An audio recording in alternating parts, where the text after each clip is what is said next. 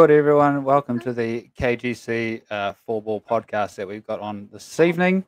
Uh, my name is uh, Frazer Bondi Bond. Joining us this evening, we've got Mr. Level Pegs, Cameron Jones from the admin team, and our special guest, uh, Daniel Hillier. Welcome, guys. Thanks, Frazer. Thanks for having us, Frazer. Good on you. How we doing? We've got a, also got PVK there still. I don't know if he's uh he's in or he's out. We'll get him there.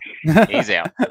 Technical difficulties. So um yeah, we're back after uh, a little break that we took last week. Uh, all of us had some uh, in real life stuff that we had to do. So we appreciate everyone for uh, tuning back in uh, this week and joining us. So we'll get straight back into it.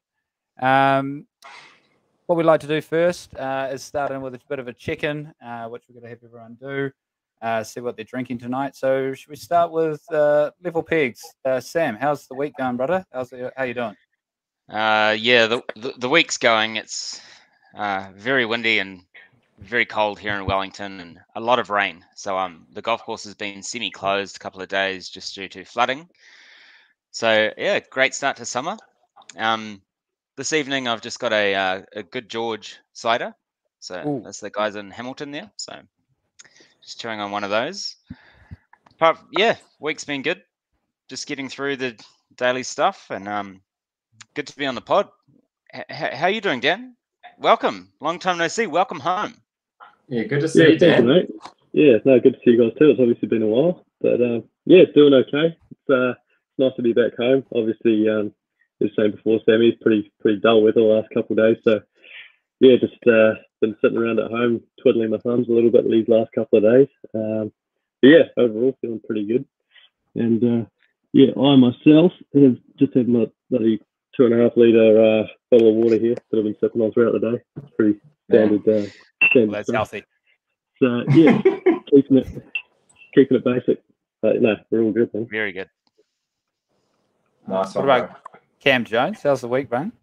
Um, the week's been the week's been good, mate. Um, Saturday had a mate's birthday. We played golf down at Takapuna, which was cool. Um, and then yeah, it was nice over the weekend. I'm sure you did as well, Frazer. Managed to go out to a few bars on the weekend, or at least go sample some some beers. I'm sure you did. Um, so that was fun. But the last couple of days have been kind of tricky because my laptop um, absolutely caked itself. So that's why I'm running this off the iPhone. So um, yeah, it's been a little bit stressful with work and stuff, not being able to do that. But all in all, pretty good. Um, I've actually got the the Remedy Organic Kombucha tonight um, and a bottle of water for me. So um, yeah, keeping it pretty pretty pretty tame tonight, Frazer. What about you, brother? Yeah, well, that's that's actually a good point. Well, we'll have to apologise if there's any uh, there's sound issues there because we're on Cam's on a on a temporary setup. Can hear him pretty good though. So uh, Is it not all too right? bad. Yeah, it's yeah, actually good. It looks, yeah, I think it looks better than mine. So doing well. Might be in the permanent setup. Uh yeah, no, it was good. Um, hit hit, hit a big number actually. Uh, actually last week hit hit 30 years age of old age of old. That's uh, how I got there uh, in lockdown, which was um which was good fun. Um, and then yes, when the lockdown uh, came up uh, came open on Friday, uh, played a bit of golf with NWSS. Those boys Yeah. there uh, had uh, a handful, and then another handful, and then another handful of beers. Um, and I felt yeah, actually fine. But that's probably got to have something to do with me just drinking at home during the lockdown thing. It's it's a little weird now. You go out, buy a few, and then you get a bit stuck. Um, but no, Yeah. week's been pretty good. Uh, playing a bit more golf. Back's definitely feeling it, uh, but I'm really enjoying it, especially with our good weather that we have up here in Auckland to rub it into the Wellingtonians down there. Yeah, thanks for that. Yeah, yeah. So, um, if you've got any questions uh, out there this evening, uh, we've got quite a few of us actually tuned in already. Uh, please send them in. Any questions for Dan, uh, Cam, Sam, or myself? Uh, just yeah, fire them through, and um, we'll get to those later in the time. Yeah, you're gonna So- have to keep. Sorry, Frazer. You're gonna have to keep an eye on those, mate, because I actually can't see any of the chat on my off my phone here. So Oh, I've got all the responsibility. Oh, another all the responsibilities with you, mate. Oh no, that's don't know how we'll manage them. So, uh, one big one that we want to kick off with. Uh, I don't know if you listened in Dan or you maybe saw our little Instagram thing, but uh, Foxy was on a couple of weeks ago and he told us this uh, story about how you just absolutely slaughtered uh, Daniel Berger and Rickie Fowler, and we weren't sure if it was true or not until uh, we got evidence that came through. Ver- verified profile. Rickie Fowler. Uh, he let us know it was true. So um, tell us Hmm. about that. Did did you get paid? I think that's where everyone wants to start. Yeah, I was um, I was hopeful. Um, took a, took a couple of days, but uh, yeah, saw saw Dan Berger um, in the players' lounge a couple of days later, and he sort of stared at me and didn't, didn't I don't think he recognised me at first, and so he was just staring, and then the, the light bulb go off on his head. He's like, "Oh, got your money, mate!" And so he just pulled out his wallet and says, "How much was it? A couple hundred? Oh yeah, sweet. I'll, I'll take that. I don't actually know, but yeah." So no, it's a good little payday for me actually. Good way to start the week. Uh, good to know Yeah. they pay up. yeah, Yeah, no, no. was good. They would ha- they would have to there too. So he he said like, yeah, yeah, absolutely took them to pieces. I mean, we can talk it up now. Uh, We obviously know Rickie listens in. Uh, Daniel probably does too. But um, what's it what's it like just getting out there and playing with with guys like that on the tour and um and just a fun game like that or fun? Yeah. obviously Say quotation. Well, yeah, I mean, as yeah, as fun as it's meant to be, you know, I'm, as, you know, my first time going in a head-to-head match against a couple of best players in the world, so I was sketching out um, pretty early on in the day, and um, yeah, I mean, front nine we were just sort of taking it easy, doing our own thing, and then um, obviously it was pretty routine stuff for those boys, so they wanted to jazz it up a little bit, get a match going, and um, yeah, they were they were ripping into me those first couple of holes. They were um, yeah making sure that I. Uh, I felt like I was the uh, I was the newbie, and um, I definitely did. But no, I got off got off a pretty hot start and had a little three footer on the on the first hole for birdie, and um, yeah, Daniel Berger's ripping into me, trying to trying to get into my head as much as he could, and uh, yeah, managed to drain that one right in the middle, you know, pretty clutch, and then um, yeah, managed to managed to catch catch fire from there, and uh, yeah, I don't know, it's just great, you know, being able to go up against those guys and, and put up a good fight. It's just uh, just a shame that it was on a Tuesday and uh, didn't have much to show on on Thursday and Friday. But no, it was, it was great fun either, either way. It's a real good, like a big aspect of it, eh? Like where you think, oh, you can go out and, and beat some of those guys on that day, and then you've got to turn up for the the following two days. Is it maybe playing with those guys, or maybe there's other bigger people that you've played with before? What do you find it like way more nerve wracking going into a Thursday um, tournament, or or teeing off with those guys for a couple of hundred, if that was the the go? Oh, definitely. Still, I mean, thinking back to the first tee shot on Thursday, um, yes, don't think I've been much more nervous in that moment there. Um, yeah, it's uh, just the whole the whole atmosphere. You know, you got all the crowds sort of hovering around you. You can just feel everyone's eyes just you know lasered onto you, and um, yeah, it's all pretty quiet, and you know that you're the centre of attention. But um, yeah, I mean, it's it's just a massive buzz, and you know, it's my second second major, and I definitely felt a lot more comfortable in that on that uh, tee shot of the Open than I did in the US Open a couple of years prior. Um, so yeah, I think for me it's a case of you know trying to get myself into that position as much as possible and just getting used to the environment, and then yeah, hopefully uh, you know as we as we go down the road, I'm a little bit more comfortable and can actually start to put some good numbers on the board. Cool. Yeah. Cool, cool, cool. So um, we'll move in. We we like to do some quick fire questions uh, to start off. Maybe I'll uh, I'll run through mine, Cam, and then I don't know if, if Sam. Do you have any quick fire questions, Sam, or you just got the Um, time ones? I've got a couple of ones that I expect very long answers. Uh, so Okay, so they're not they're not the long fire questions. Okay, so we'll, we'll do my go after ones. the evening semi. Yeah, yeah. We'll, we'll throw we'll throw some stuff at you here. Uh, uh, firstly, uh, belly putter for or against? Um, against. Okay, good. All right. Well, that's okay. Are we doing one word or do you want a sentence out Just of it? no, or what, what? No, that's enough. yeah, I'm just trying to get one other person on my side. I'm, I'm hugely outmatched at the moment over, over time. uh, do you ever have any drinks on course? Are you more drinks after the game sort of a guy, or just on the big waters? Yeah, just on the waters on the course, but yeah, uh, more partial to a beer afterwards. Nice, Got to be done, especially you know some New Zealand summer. There it It's a is. staple. Nice. Uh, joggers, uh, the pants, joggers, for or against those? Uh, I'm going to say four. I wear them, so I'd be Oh. lying if I was saying against it. There we go. And um, here's a new one I'm, I'm, I'm throwing in there is um, let's say you're an amateur at your club competition, you're a good right-handed player on a two handicap. Are you allowed to enter into a tournament as a left-hander on a higher handicap? uh, yes, I think so. Yeah, okay. I think- same. yeah. We're on the same page there. Yeah, we can clip all that and we'll. So we'll- how do you we'll hold that decide the left-handed handicap? No, you, like, you You actually have to go out. Well, I feel like, I feel like you have to have obviously, yeah, have, Yeah, have your designated amount of rounds to your handicap or whatever, and then you can just play Yeah. that. I like very the idea much. of having two handicaps. That's cool. That yeah, it's very much cool, like um, yeah, very much like Dan Crook, our other admin member. He was left-handed, and uh, now he's right-handed, and he enters all his tournaments and right-handed too. So um, yeah, just like oh, or vice versa. Just interested to see what everyone's thoughts are. So um, okay, Cam, hit us with your big time ones. Yeah, these are these are my three questions, Dan. And We actually started this this with Jimmy uh, when he was a guest a few months back. But I guess instead of instead of framing the question around it's a Saturday night and you're out drinking, because you've won a few tournaments in your time. So let's go Sunday night. You've just won. I think I know what your drinking choice is, but what's your drinking choice, mate? Well, I drink it. um, oh, I mean, it depends how late in the night it is, I guess. but um, probably tequila if it's uh, if it's a bit of a doozy. Whatever they're serving, serving up in the Christchurch Pro Lounge, mate. Yeah, no, pretty much. Yeah, no, all right, Yeah. cool. You're on, you're on your way home, mate, from the from the bars. You've just you've just been celebrating out out with the win. What are you stopping to eat on the way home? Stopping to eat. Oh, it's got to be a little Domino's pizza, I think. Oh, Can't go wrong. okay. Nice. It's the first person that hasn't said McDonald's. Um, oh, right. yeah. Interesting. Big fan the, pizza. what's that, mate? Big pizza fan. Nice, nice. So, And then next day, you're dusty, you're hungover. Could be a travel day. What are you watching on Netflix? oh, gosh.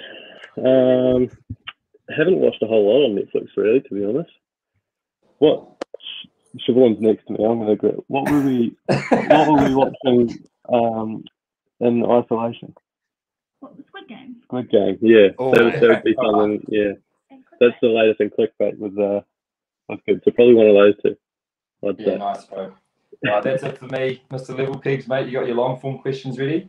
Oh, I got a, a couple of um short ones and one that is either going to be short or long answer. But um, who do you who have you found yourself uh, traveling with and um you know hanging out a lot with and playing with a lot? I see you um sort of tend to hang out with some of the Aussie boys.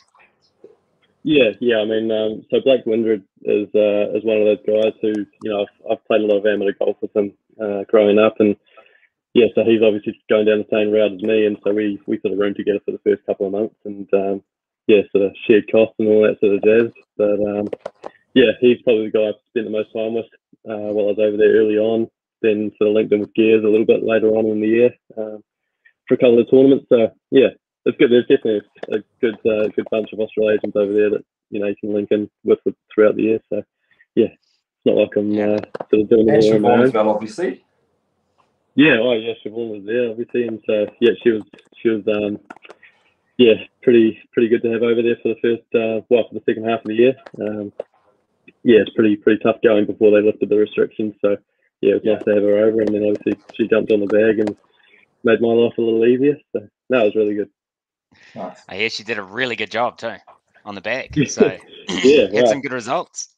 Yeah, I mean we, we certainly did. So uh, yeah, who knows? She she may have to have to come over again and um, give it another crack, depending on how things go. But yeah, no, she was They've awesome. got the job. All done. Um, Yeah. I I do have another question that, yeah, like I say, it could be a long answer or a short answer. Um, but do you have any any word or information on the PGL or the potential SGL? Do you have you heard anything? The Premier No, Golf League, um, Saudi Golf League? Uh, right, I've uh, very little info on that. Um, but yeah, it's going to be interesting to see to see how it all pans out. I mean, obviously got some pretty big aspirations around it, so yeah. I feel like you could be a very good uh, target. Oh, yeah, don't know about yeah, don't know about that. But uh, no, I mean, it sounds like it's going to be pretty lucrative um, the way things are going. So yeah, who knows? They they could get some big names, uh, especially you know obviously Greg Norman being the front runner. He's got some Mm. got quite a bit of influence in the golfing world. So um, yeah, who knows? Yeah, interesting. It should be. It'd be interesting to see what happens going forward. But Mm. I think it's going to happen very fast. Early next year, we'll know, know a lot more. I think so. Yeah, definitely. you can't play both tours A up there, is it? Have you got to choose one or the other? Is that what the players have to decide? I think- between? I think that's Yeah, what we everyone's trying to figure out. Yeah. yeah, I feel like it would be the case. I'm not sure the PGA Tour would um, be too happy with people chopping and changing. So Yeah. yeah, it might have to be one or the other, unfortunately. Interesting. Uh, that's that's all for me anyway for now. Good all. Yeah. Is that all? Well, is that a, oh, we got some big ones coming up, I'm, I'm, I'm sure. Um, we'll give you a bit of a break there, Dan. I just need to go through a couple of uh, couple of points uh, that we got in our little uh, our golf club. Um, I don't know if you know too much about our Kiwi Golf Club, but uh, we are actually creeping up on 4,000 members and um, on our Facebook page, and uh, our- our hundredth membership can't be too far away for our actual handicap membership. So um, we're getting closer. So talking about new members, uh, Nick Yeager, Arain Owen, Ryan Fryer, and Caleb Marshall are our four new members. So welcome to the club, guys. Um, great to see you signing up. Yeah, big round of applause. We've we've gone we've done this now for 12 weeks and we still haven't got the pause button on the uh, on the podcast yet. That's will be our our Sound next one. Yeah, new, new little soundboard. That's when that's when PJ comes back, but he's um he gives his apologies. He's out on uh, uh what is it? Uh, Howick Twilight tonight. Howick Twilight evening, uh, doing that there. So with actually Mr. Caddy Batch, there's uh we got to give them a huge shout out. They're actually doing their longest day on Monday, I believe, just coming up. Um, if you haven't seen that that group that he's been posting up all over social media for the longest day event, they're currently just ticked over seventeen thousand dollars in uh, charity money raised. Which yeah, that's a huge achievement. There's about thirty, yeah, about thirty nine of them out there. Uh, or maybe might might even be close to forty now. Uh, I might have to join the team after seeing how well that they're doing and help them get up there. But no, that's really epic to see them doing and, and all of them uh, banding together. So um, if you need to support them, uh, that link will be down in the comments. I'll post that for them there too. Finally, we've got this shout out here to Carl Tilley, uh, longest drive, uh, 300 holes completed in Wellington. Also, good luck to the caddy batch. Oh, that's oh god, I butchered that for you, Peter. There, sorry. so he's he's given me a few points here to go through, but uh, he's just added comments. But no, uh, shout out Carl Tilley. Uh, he won the longest drive over the weekend. Uh, well done there, mate. Yeah, he did very well, man. Some grueling weather from time to time, and and it's a lot of holes carrying his golf bag. Fifty-four So that- holes a day for seven days. So, How many Uh, holes 300 holes. sorry, what? How many holes a day was it? Uh, fifty-four, three rounds. Did he play the same course every day, or did he? No, three different courses. So there's like travel between them. uh, I played with him on Friday morning at Miramar. We teed off at 6 a.m. or 6:15 or something, and we finished up in about two hours 30. And then he travelled through to Karori, and I think he played a Haria Valley after that, which is two rounds there because it's nine holes. I tried to convince him to um sneak a nine hole in at Birdies and Brews, which uh, should be opening later this week, but um. Yeah, he had a lot on his plate, so So let me get off. this. Let me get this right. He he because the the breakdown I've got here is probably not as detailed as that, but he played 300 holes over the week. He played 54 holes a day, and he played at three different courses a day. Yeah. Wow, that is Mm. that's ridiculous. Yeah, I think the Saturday after I played, what they he did it in Kapiti and played Yeah. Paraparaumu and Waikanae, I think, and Kapiti twice. Was he keeping score for every round and every Yeah, shot? yeah, he scored every round, kept all his stats, kept all his birdies and eagles and blah blah. blah. I think he, I- Wow. I think his highest round he said was 80, and shot under 80 the rest of them. So he did well. on him. Wonder how much his handicap changed throughout the week because that's what 21 rounds of golf. daily. everyone that he uh, submitted in. Okay, well, I'm, pa- past my admin stuff there. Uh, do you want to start off with some longer questions there, Sam, or do you want to? Uh... Yeah, I I just wanted to maybe dig into Dan and just um get some information about his uh his travel schedule that he's just come back from. Um, I think it started in just before June, was it May? Early May? Uh, end of end of April, I got over there. So Right, there you go. yeah, End of April uh, in South Africa. Is that right? yeah, yeah, two in South Africa there. Um, and then Wow. yeah, Sweden and Good, uh, Ireland and good to see. Spain. yep, they were all in. Portugal, um, France, Italy. Yeah, it was uh, it was pretty nuts. Twenty, And then, I think it was 22 events in 26 weeks. Far out. Is it Yeah. true, Dan? Is it true that you took only one single level peaks tee with you and it lasted you the whole trip? Uh, I had three, three tees actually. You took After three the tees rounds. with Three for tees. the whole time. 100 rounds of golf, yeah. Yeah, so that's pretty good, man. So yeah, yeah, No, I, I, I just um did some digging on the Challenge Tour website. It's actually pretty good, and um, it says you had eight events before the Open, and then you played in the Open Championship at Royal St George, and then you started to um catch a little bit of fire after that, and you had some pretty good finishes. We got T10 at the Irish Challenge, and uh, T9 in Spain, T3 in Northern Ireland, T11 in Germany, T6 in Portugal, and then your first Challenge Tour win at uh, Challenge Costa Brava in Spain. Mhm. Tell us a little bit about that. And geez, first one, How yeah, good? yeah. Oh, mate, it's um, yeah, I'm still sort of processing it now. Really, it's uh, it was pretty pretty amazing. Obviously, a very long season, and we had uh, had two tournaments at the same venue, uh, and that was the second one there, and missed the cut by one in the first week, and so obviously um, wasn't uh, wasn't all going too great. And I think in that first round, I was two over through 17 holes um, in that second event as well. Um, luckily for me, we actually had to call it quits due to daylight, and so I came back and played the 18th the next morning um, with a favourable um, tailwind on a par five. Managed to managed to eagle that um, to start my day off, and then uh, yeah, that's of, I think that got me back on the cut line at that point after the first round, and then yeah, had some pretty tough conditions to battle through in round two. Um, posted a pretty solid four under round there, and um, yeah, I sort of look back on that round and because you know that was the toughest, probably the toughest conditions I've played all year, but you know, showed a pretty, pretty solid number and so really thought about you know the things I did well and you know how patient I was out there. I was a lot more patient. You know, obviously in tough conditions, any mistake that you make just gets compounded. So yeah, I just made sure that I had it in all the right spots, didn't take on anything more than I needed to, and uh, yeah, took that into the final two rounds and. Uh, yeah, obviously that third round was, was just an absolute dream, having having my lowest round ever, and um, in a pretty pretty crucial moment, and then managed to yeah follow it up in round four. So I mean, it was just just a crazy week. I think I was 21 under in my last 55 holes, which I've never done before in my life. So yeah, I mean, it's, it's, it's eh? to come together. Um, come together, you know, at the right time, and uh, yeah, right at the end of the season, um, sort of, you know, halfway through that uh, that first round, I was sort of feeling like I was running out of juice. So it shows um, how fickle the game can be. All right. Yeah, that's Wow. some uh, some crazy good golf, man. 5500. Jeez. So um, what what do you think uh, managed to get you over the line?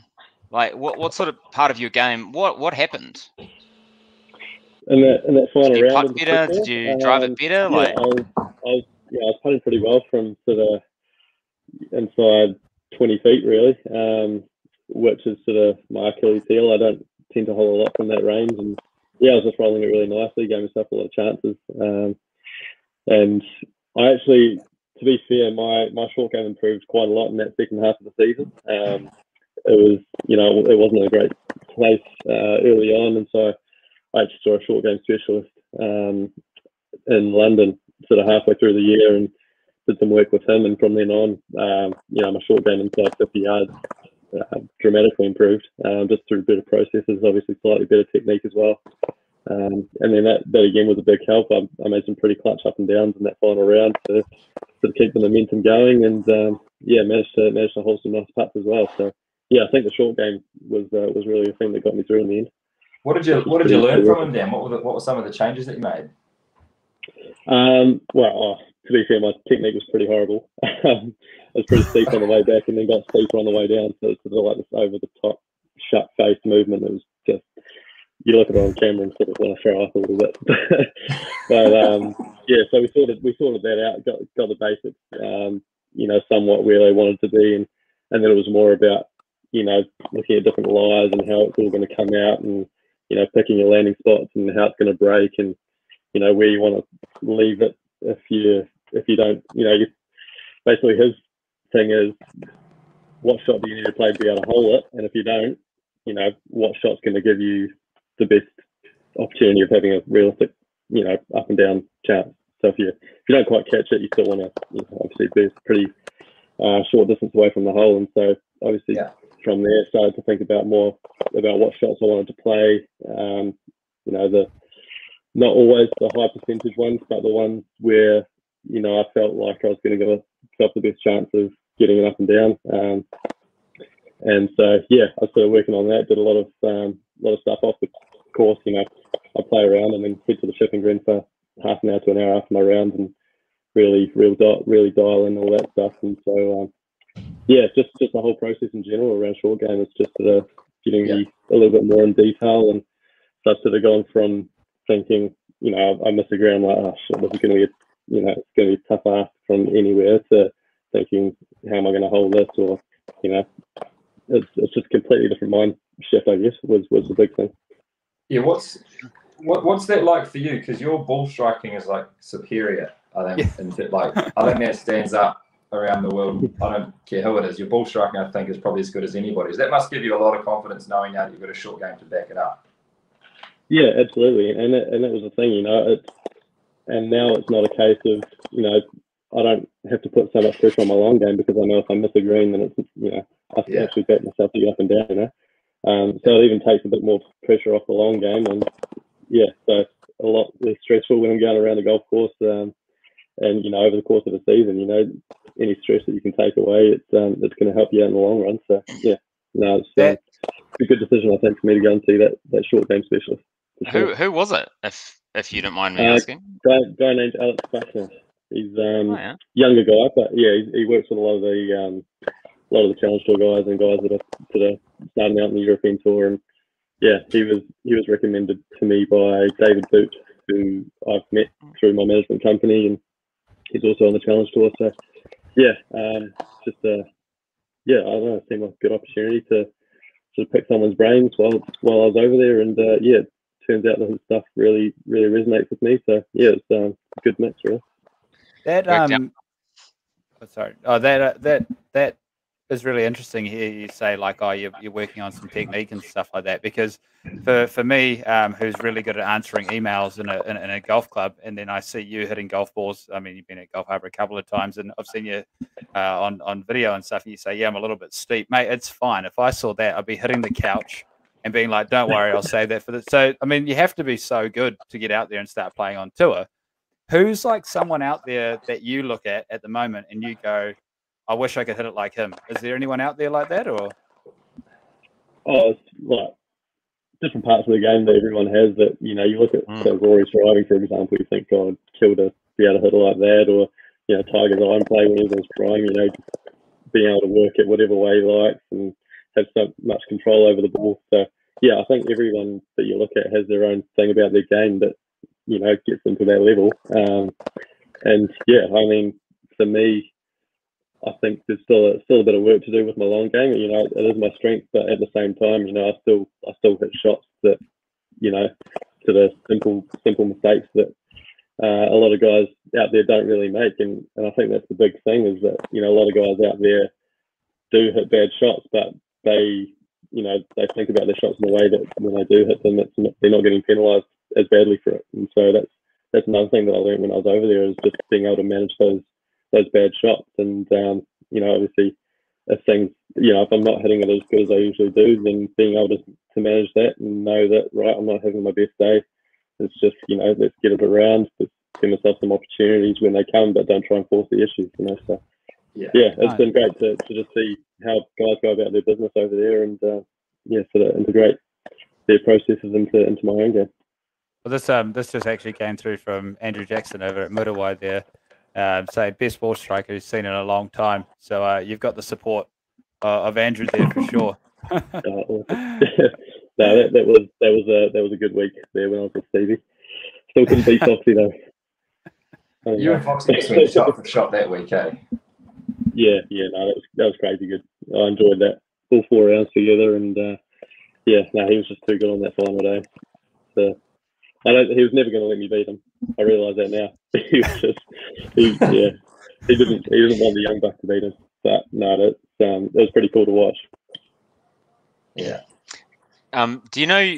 Do you keep hold of your stats, Dan? Do you know? Do you know your stats? Uh, just looking at some, uh, Don't know. I'm- Don't open them up. I'm just looking at some uh, stats here on the European Tour website. Obviously, they're a bit old school and a bit vague, but um, do you know what your driving accuracy percentage would be? Or be around 50, 60 percent. Not too bad. 50, 58. So tour average Mm. is 59. So it's pretty good. Um, driving distance, Oh gosh. Oh, I guess in yards or meters? uh, yards it is. Uh, maybe two ninety. Well, uh, it's got you here at 300.0, so 300 on the number. Uh, Yeah. Oh, sorry, tour average is 300. Yours is 303.25, so uh, just above average, which is pretty Cut good. Ranking yourself short. 27th, that's pretty good. Take that. And uh, greens and regulation percentage, Oh, the seventy six. I think. uh, 66 point, 66.6, uh, Oh, which is 19th. So that's actually uh, that's actually your your strength, and according to these stats. So um, Yeah, and uh, what about stroke average for the season? Stroke average. Uh, I'm gonna say seventy one. Just Cool. under seventy one. 69.9. So that's pretty Yeah. good. Tour average was 71. So this is challenge tour you're ranked talking about. 21st. Yeah, challenge tour. Yeah. Right. What do they? Do you know how they Yeah. collate these Yeah, yeah, stats no on tour? Dan?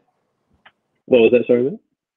Like how they, in terms of how they collate the stats on tour, they kind of only pick like one or two holes around, don't they? That they take like driving Yeah. numbers for because like you hit it way further than two seventy meters. Um, yeah, I guess I mean it all depends on the conditions and whatnot, but um, Yeah. Yeah, it's, uh, yeah, they don't take it off every hole. I know that much. Um, I'm not really Are you sure good- how they get the challenge tour stats. Are you good friends with uh, Geordie? Geordie? Geordie Lou. Oh yeah, yeah. Yeah. Good, Okay. mate. So there, there you go. There's just a little He's- comment there for you. I thought that was Oh, pretty funny. Good to know. yeah. He's three. figuring. He's three Ah, yards okay, past he, he probably he probably got me easily fair. Oh, okay. He's allowed one then. hey, pretty pretty bang on for the stat guess there. Um, I want to we'll move it across uh, to some questions that we've got in. I've got about five or six questions here uh, from people coming in. Um, start with let's start. Well, actually, start with one of our members who's actually away at the moment. Where's oh god, I've lost the comments.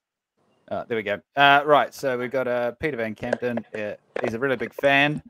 What's your favorite club in the bag, and who's the one person in the world you don't want to lose a match against? To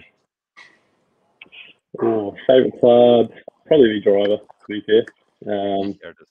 yeah, always been a strength of my game, and just love yeah, hitting the odd bomb here and there, let the shoulders let the shoulders go a little bit. Um, person I don't want to lose a match to. Uh. Jaden Ford. he's uh, obviously he's a pretty he's a pretty decent young player, and, and we'll we'll have our little matches back home, and um, and yeah, you know he always talks a big game. Didn't you have one on Pretty- Saturday? Yeah, yeah, put him in his place. So. Yeah, good. Put him in his place.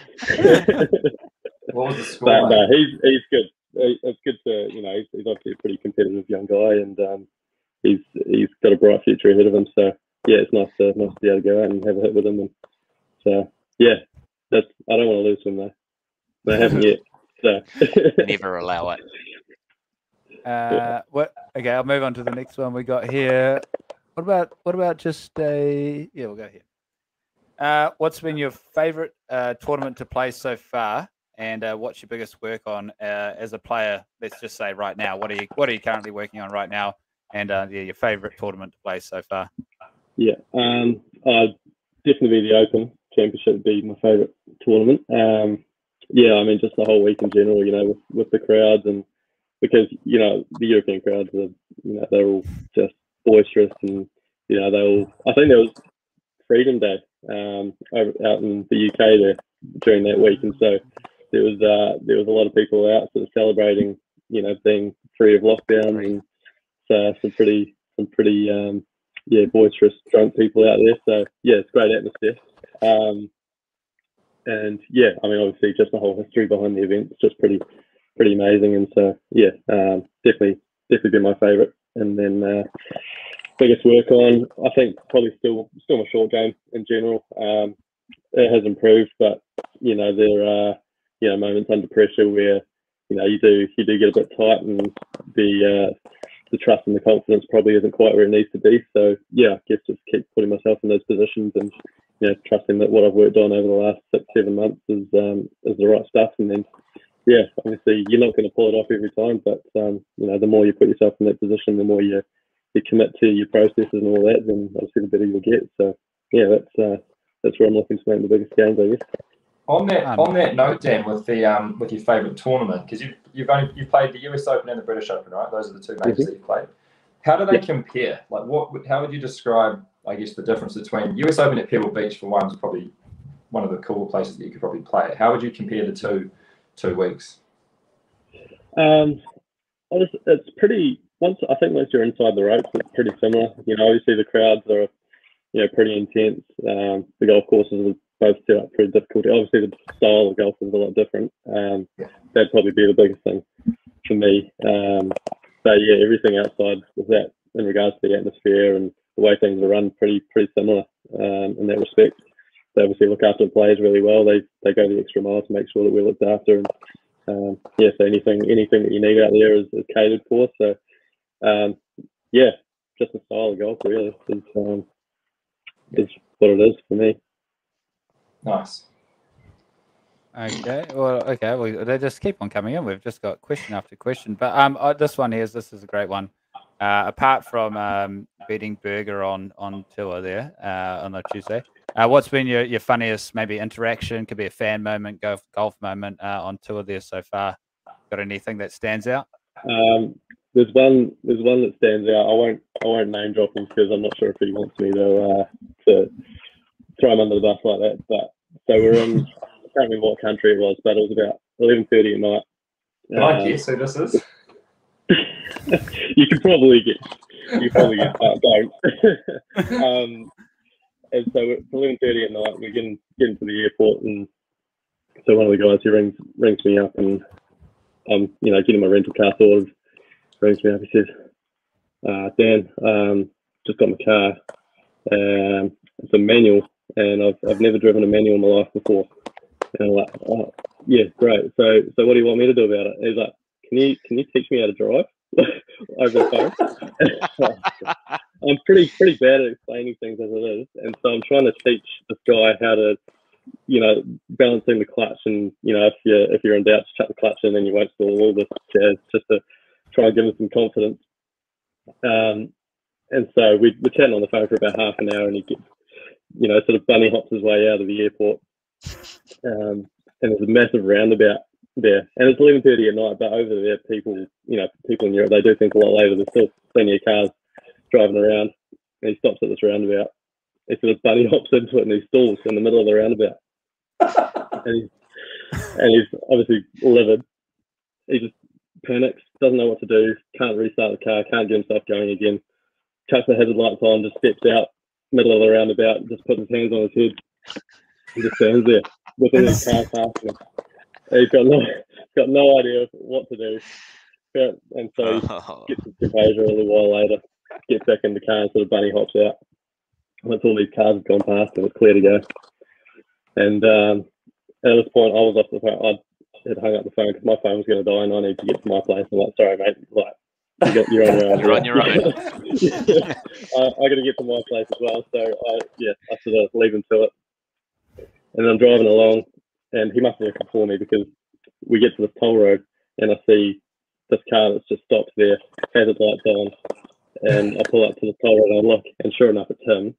And he can't get his car started again. He's like paying for his toll and all that, bar lifts up, and again, he just doesn't move. And so I'm just like there watching him as I'm getting my ticket and everything. Bunny hops out with his hazard lights on, and he sort of takes about 20 seconds to sort that out, and he's just off on his way. And oh no, it was oh. just an You didn't absolute feel to tell us nightmare for him. who it is. So Oh, Blake we, we, All right, I'll tell we, you. we, we Yeah. have to track. We have to track down who this is. couldn't?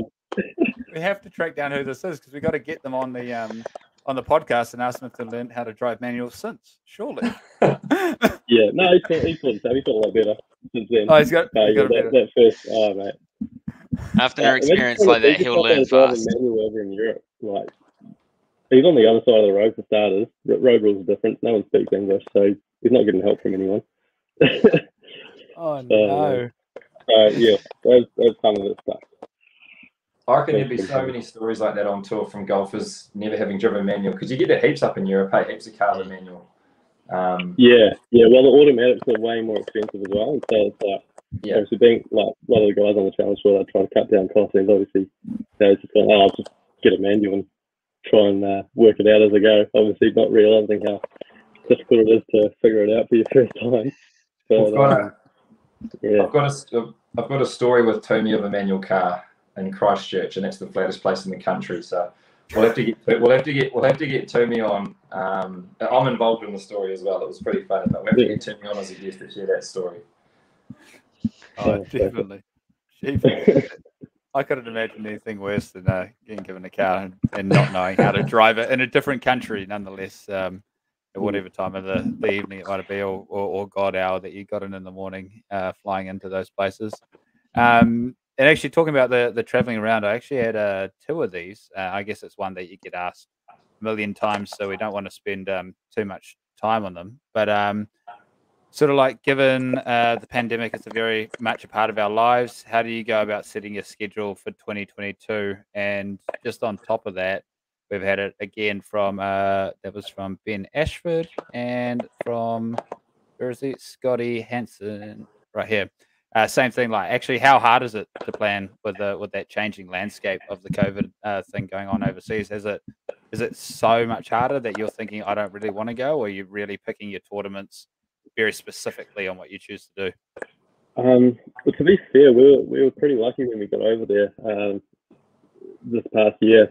You know, they were obviously they, they had a lot of COVID cases, but life was relatively back to normal for them. Um, they had no plans to cancel events, um, and you know, I think they ran it in a way that you know we were all pretty well sheltered from from all that. We were, you know, we were tested twice a week um, for COVID, and you know, we were staying in tournament hotels that were specifically for the players, and so we were mixing with the public and all that sort of stuff. And so there was no real risk of um, there being an outbreak within the tour. So they ran it really well in that regard. It was obviously pretty pretty tough to you know just go from the hotel to the golf course to the hotel back and forth, you know, without being able to get out and you know sort of live a normal life. But um, yeah, they ran it. They ran it really well and did what they had to do to make sure that we had a you know solid schedule in place. And I think um, the only thing for next year is that obviously with this new var- variant, um, it's you know made a bit of disruption to these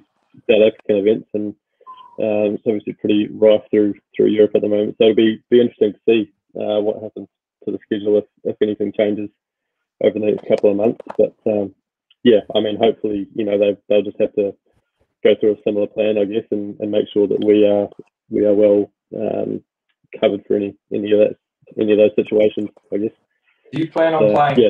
Challenge Tour to start the year, or do you plan on starting out in Europe? What's your What's your plan? Um, I'm hoping to get a couple of invites in Europe on the main tour, um, start me off, and so I'll, I'll probably head over uh, mid to late January, uh, depending on what I can get into. I, I won't find out for probably another month as to what my first event will be. Um, Yeah. They haven't put the challenge tour schedule out yet as well, so I'm not really sure when that's going to kick off. Um, but yeah, so timelines mid to late January. Not really sure what tournament will be my first one, so just play it by ear. And some, something that I did pretty much all last year as well, you know, playing off invites. And, you know, I wasn't finding out if I was in, into tournaments from, you know, the Sunday night prior. So, no, nothing new, which is nice. How do you How do you prepare for that? Knowing like not knowing, I guess if you've got to Mm. start maybe one or two weeks out, like how do you go about preparing for that, making sure that you're tournament ready? yeah, I guess you just have to to go into expecting to play, and if you don't, then you know you get an unexpected week off. Um, it's pretty obviously pretty mentally taxing um, doing that, and you know there was a lot of last minute travel plans being made. I was lucky that I that I had a good management company behind me to help me out with that sort of stuff. Because I mean, being able to you know being over there on my own and you know having to especially with all these restrictions and you know documents you have to fill out with COVID and all that sort of stuff, it would just be an absolute nightmare. And, you know, I don't think I would have been able to get through the year without their help. And um, but yeah, I mean, it's uh, yeah, it's just a just a pretty interesting time that we're in, and you just have to be ready to play. Um, yeah. Nice, mate. So, are you ready to play? Probably not at the moment. I've had a decent break, so uh, there's probably there's probably a little rust there. But uh, no, I will be when the time comes. Yeah. Definitely. Nice. So I guess just on that note about the Challenge Tour and European Tour, so you've, you've got full status on the Challenge, right? So you've got the ability to pick and choose your Challenge Tour schedule. When does um, Yeah.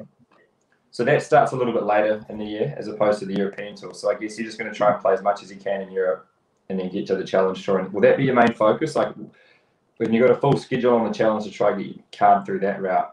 What happens if you get an invite into the main tour? Do you, do you take the chance, or what's the what's the thought process behind that? Yeah. Um, so I think for me, you know, I won't I won't play a main tour event one unless there's a week off on the challenge tour, or two. Sometimes the tournaments double up. So any points that you make on the main tour, um, your equivalent. Say I come tied twentieth on the European what DP World Tour. Sorry.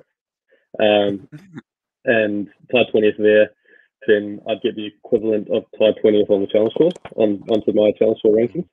Um, Right. So sometimes they have a they have a bunch of events that run like that, and so that's sometimes a good opportunity to, to you know take a stab at a at a main tour event and see if you can get some decent points there. But Yeah, um, yeah, the main focus is going to be challenge tour, um, unless obviously I get into an event on the main tour early on, have a good finish, maybe we'll win, or you know keep having top fives or whatever that plays me into the next event. Um, Yeah. and keep riding that road. But yeah, um, obviously, yeah, still still pretty much um, chopping and changing. Um, a lot of last minute travel plans will probably be made, but yeah, just the way things are at the moment until I can get myself settled on on the main tour. yeah, nice. Do you do you enjoy that?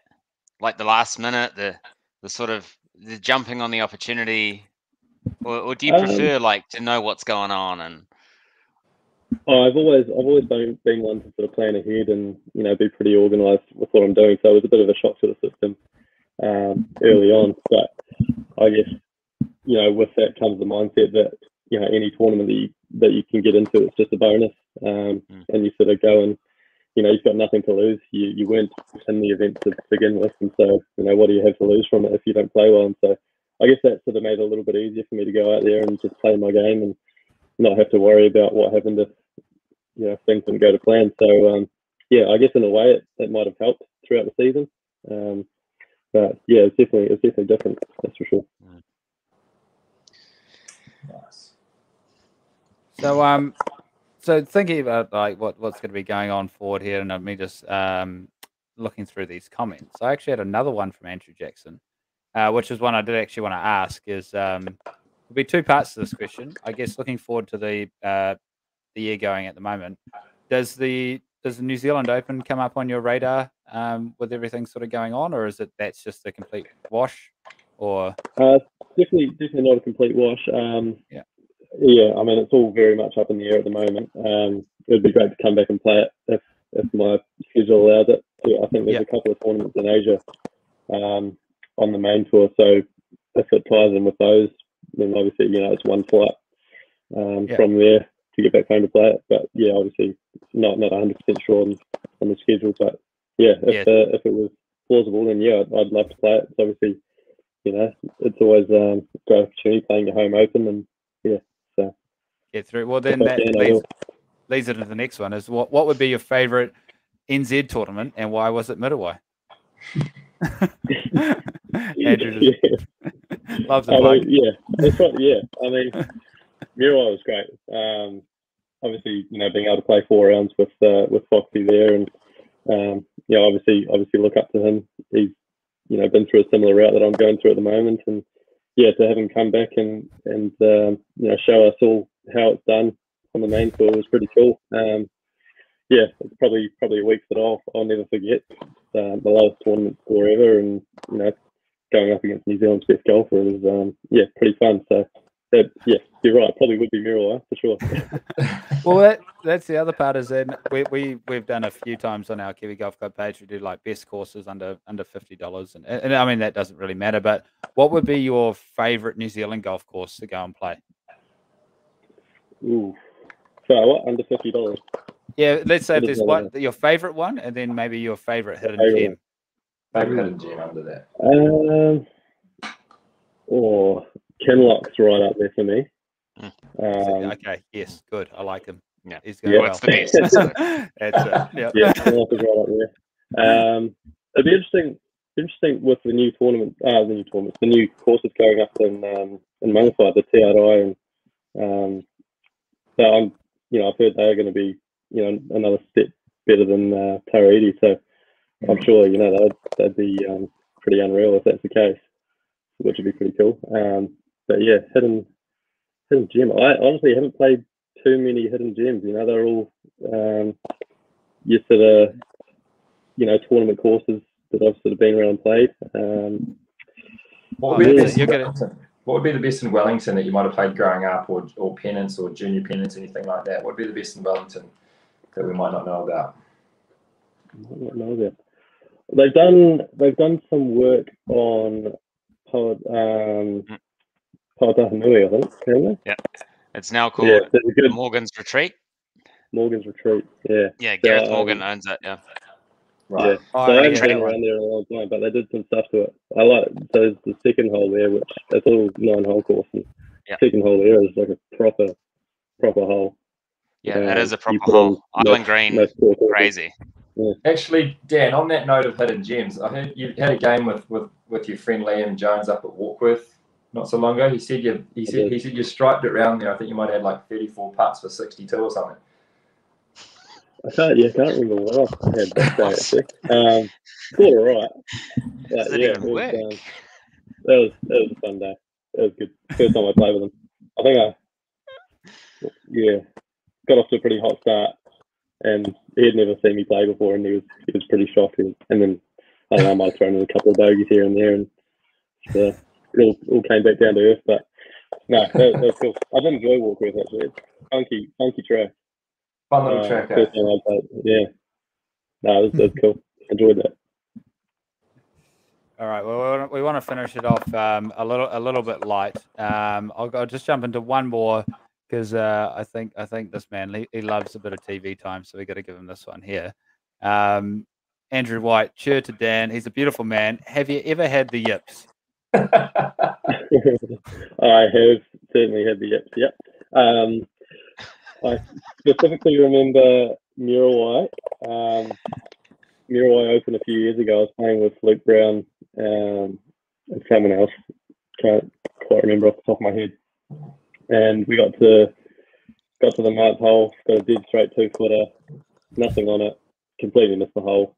Um, full electric shock in the hands. You know, quite a few people watching, which was probably the thing for me. Um, and yeah, I just completely missed the hole from two feet, lined up and everything. It was pretty pretty piss poor. And um, got to the 18th, had apart from one foot, uh, almost left it short. Same thing, just no idea what was going on.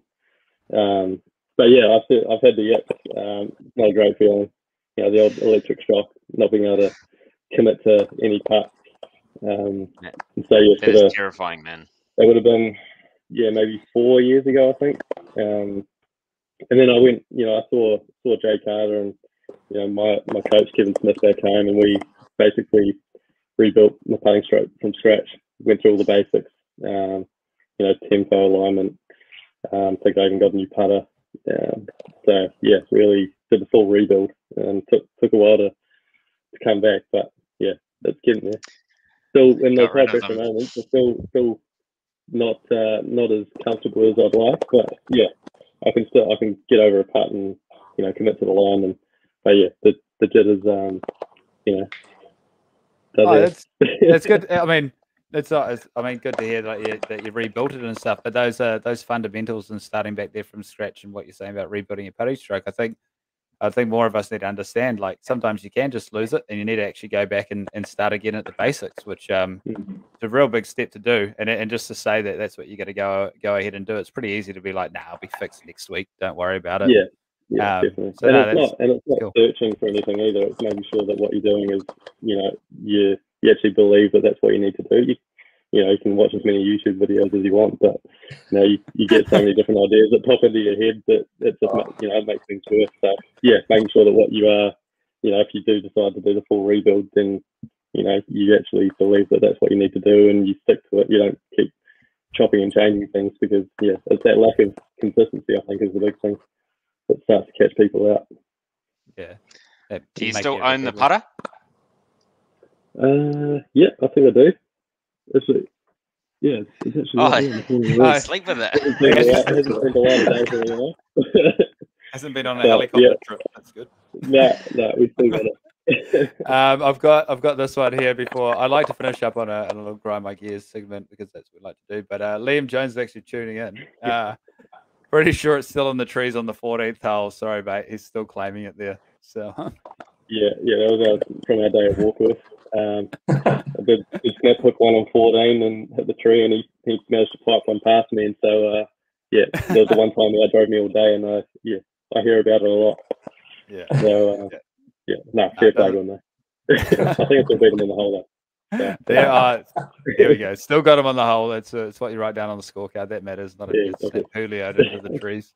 Um, okay, so we, we, we're getting close. We only got a, a very uh, few a few minutes left. Uh, so I'd like I'd like to finish up on a, a little grind your gears sort of segment. We've done it a, a few times. Um, for me, I'm going to go with golfers that I've seen wearing a right glove, but they're a right-handed player, but playing right-handed Mm, and and and I've seen two separate groups in the same week at Gulf Harbour.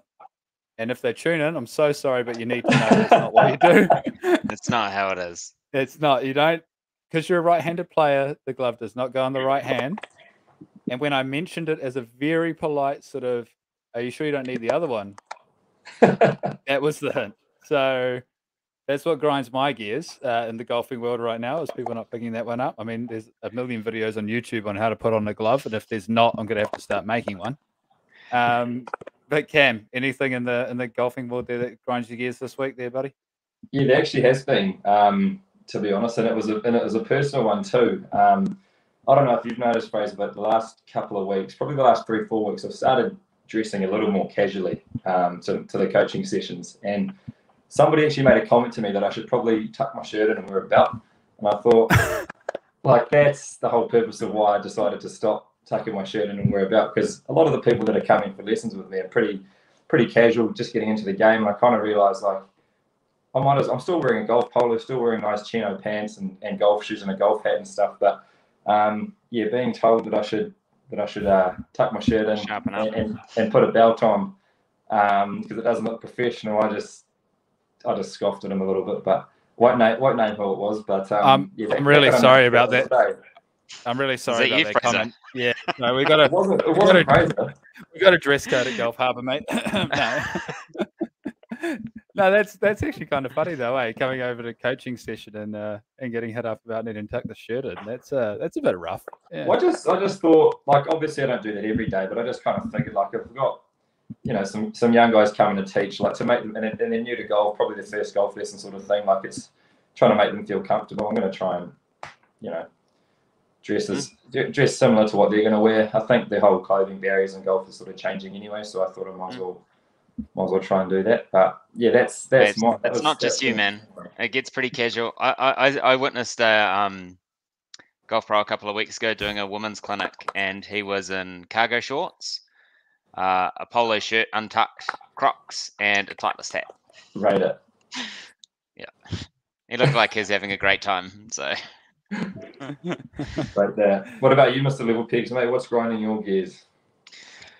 Uh, I think it's, I think it's just uh, sort of the supply chain issue. Like I work in, Oh yeah. I guess the retail space uh, and do a lot of club fitting and also do a lot of club building at home and etc. etc.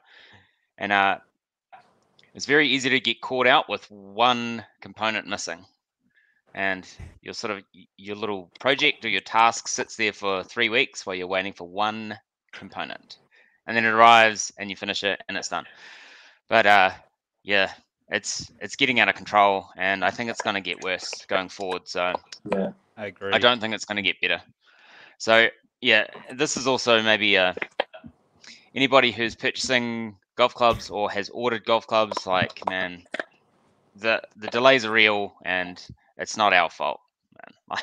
there's nothing we can do we're doing our best so Yeah. please don't blame us we're trying we're just trying to help so yeah And if you're purchasing level pegs, make sure to stock up with a few thousand boxes now because I mean there'll be some supply issues. So just buy all oh no the there'll be stock. no supply issues mate they'll arrive the next day don't you Uh, worry about there that it is. to the country. And what about what about uh, our, our guest Dan? Is there anything out there in the golfing world that just just gets to you that you you're not about? Um, Stands out. what's grinding your gears dan oh, I mean, there's there's actually a moment where it was in the final actually. Um, so it's a little personal one. Um, where we've got we've got these walking scorers, and um, so I'm not playing great. There's obviously I'm not the best week that I had in the final there, and I doubled the 18th three days in a row, rounds two, three, and four. Um, so doubled it in round. I can't remember if it was round three or round four. Uh, what one it was. But the walking he comes off. I don't know, so takes your heart, mate, and moving on. And it's like, yeah, it's just it's just a shame about that stupid mistake that you made on 18, wasn't it? And obviously, I'm pretty, I'm pretty livid. I'm, you know, I'm, I'm pretty pissed off about how Oh. I played that whole last couple of days, and then he's thrown in that little comment. Obviously, you know, he's he means well. He's not trying to piss me off or anything. But yeah. you know, sometimes they, yeah, they say things and they're trying to Oh, help, no. but it, it really doesn't. It- Oh, yeah. that, that I mean, I I, can, like, I can yeah, feel that. You're right. I'm going to keep walking now, so I don't say something that I, I shouldn't. Um, but yeah, so that's that's probably the big thing when when you know the guys that um, don't quite know how you're feeling, they come up and say something just to just to tip you over that edge a little bit more. Just throw a curveball in there, eh? Something like that. Yeah, Like, yeah, yeah. yeah, mate. I I know how many I wrote down on the scorecard. You put it up on the board. I don't need to know Yeah. again. yeah, oh, that's, so uh, yeah, that'd that's be that'd be mine. that that beats my glove one by miles, as far as I'm aware. All right, uh, so we'll wrap it up there We're just a couple minutes uh, over our, over an hour, which is great. Now it's been absolute uh, pleasure, Dan, to have you on the podcast, uh, chat about uh, your experiences, get some Oh, new thanks for uh, having me, manual manual stories uh, that we got there too. We're gonna have to track down that person um, um pretty fast. So no, all, all the best uh, with everything going forward, and we, we hope to get you back on again again soon. So um Cheers, man. yeah, th- yeah Appreciate thanks for coming out Have dan good pleasure Yeah, thanks Thank for coming you. on, Dan. Okay now the leave background and end.